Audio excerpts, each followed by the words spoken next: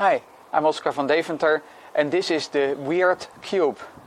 Weird Cube is based on a geometry discovered by Bram Cohen and actually he had the so-called 3-4 geometry and this is a 2-3 geometry, that's for the specialists.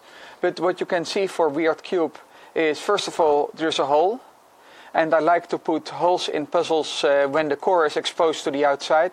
So I'm not sure whether you can look inside, but you can uh, see some screws at the inside. Will be very hard uh, to see. So uh, there is one uh, turn that is this center that turns, and the other turn that is a deeper than origin turn that is when we're turning this side. And actually, the proper way of turning it is not turning the corner, but actually turning the backside. So we turn the backside, then we turn the top. By uh, 180 degrees, we turn the backside again, we turn the top again, we turn the backside in the other direction, we turn the top again, we turn the backside again, the top again,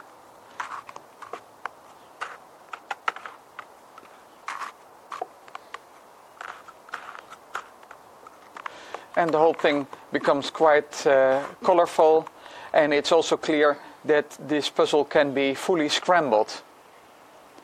My question to you is about terminology. According to Bram Cohen, this puzzle is doctrinaire.